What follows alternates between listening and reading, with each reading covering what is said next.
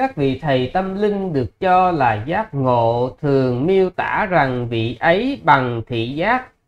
Vị ấy nhìn thấy bằng thị giác mọi thứ đẹp đẽ sống động và có chiều sâu. Trong kinh có đề cập đến vấn đề này hay không? Uhm, xin thưa là không có. Nha xin thưa là không có chuyện đó.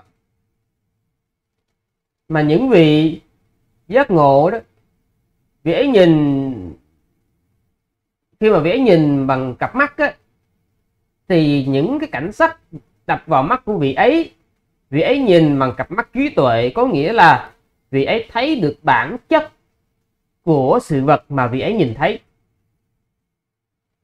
Chứ không phải là chúng ta nhìn cái gì cũng thấy đẹp nhìn cái gì cũng có chiều sâu thì không phải như vậy.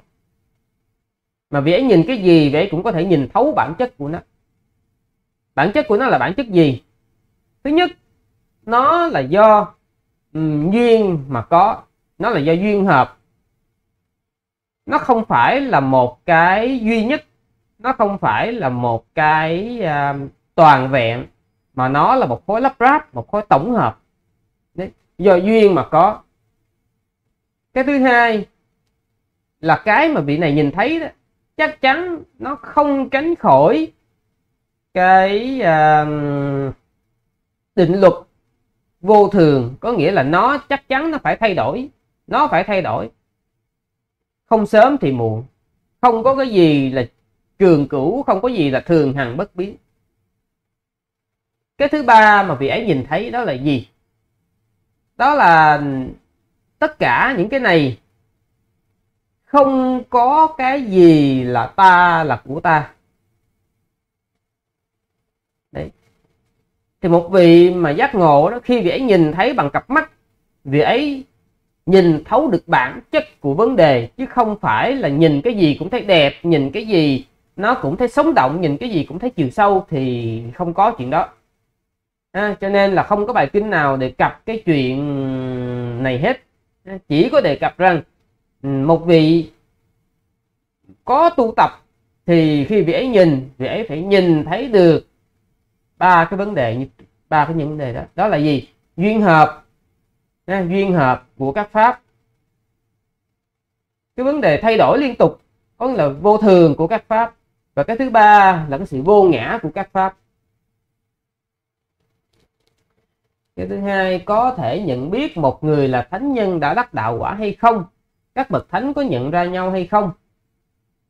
Ờ, trong kinh tạng đó đức phật xác nhận rằng một người cư sĩ còn hợp lặng trong các dục, còn gần gũi với các dục thì vị ấy không thể nào biết được một người đã chứng thánh hay là không bởi vì bản thân vị ấy ô nhiễm thì vị ấy rất khó để mà nhìn thấy người khác có trong sạch hay không trong sạch ừ.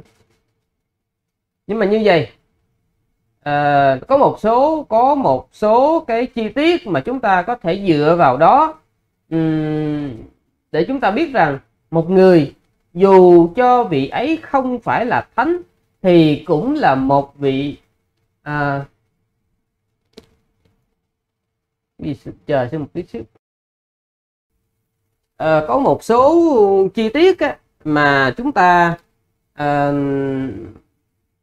có thể xem là vị ấy dù cho không phải là một vị thánh, thì cũng là một vị à, phàm. Đáng để chúng ta kính lễ. Đó là gì? Một vị thánh dù là vị thánh sơ quả, dù là vị thánh sơ quả thì dù có chết, vị đó cũng không bao giờ vi phạm cái giới mà vị đó đã thọ ví dụ như là một người cư sĩ mà chứng sơ quả, một người cư sĩ chứng sơ quả, thì vị đó không bao giờ vi phạm năm giới. Tức là dù có chết, vị ấy cũng không bao giờ sát sanh, trộm cắp, tà dâm, nói dối uống rượu. Vị đó không bao giờ làm chuyện đó. Và vị đó không bao giờ sân đến mức mà phải đánh, gọi là đánh đập ai, hành hạ ai chửi mắng ai? Đấy.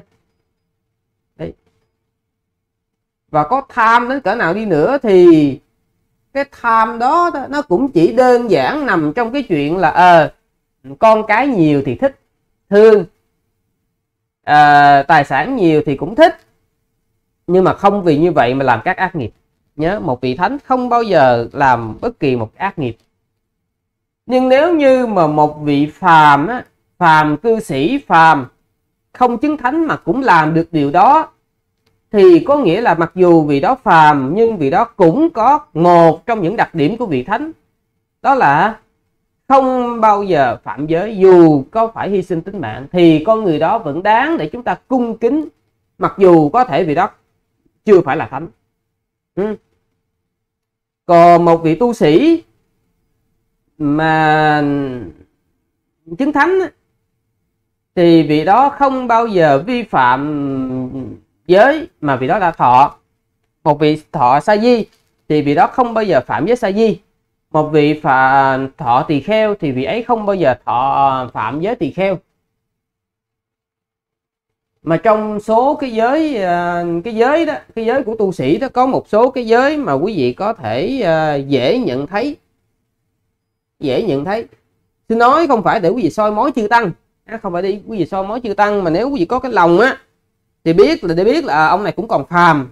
Đó là gì? Thứ nhất là y áo.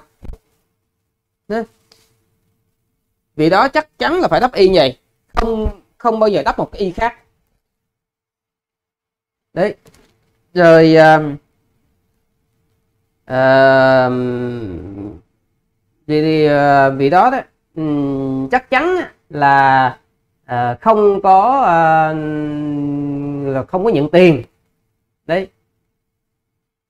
Và trong tất cả các giới 227 giới tỳ kheo thì vị ấy không phạm bất kỳ một cái giới nào.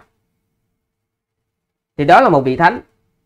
Nhưng mà nếu như một vị phàm mà cũng được như vậy đó có nghĩa là một vị phàm mà giữ trọn vẹn được giới sa di giữ trọn vẹn được giới tỳ kheo không sức mẻ một giới nào thì cũng đáng để chúng ta đảnh lễ cúng dường. Ừ. đấy.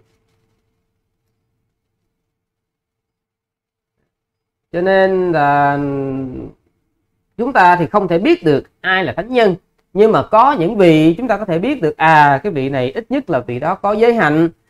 Đó và cũng cái chuyện chúng ta gần gũi các vị đó là cái điều tạo nhiều công đức.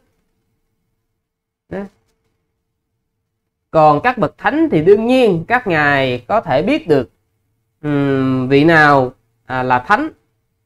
Nhưng mà từ ngang ngang mình cho tới thấp hơn mình vị đó biết. Chứ vị đó không thể biết được một vị mà chứng thánh cao hơn mình. Ví dụ như một vị thánh chứng tam quả thì chỉ có thể biết được ai là người chứng tam quả, nhị quả và sơ quả, chứ không thể biết được ai là người chứng tứ quả.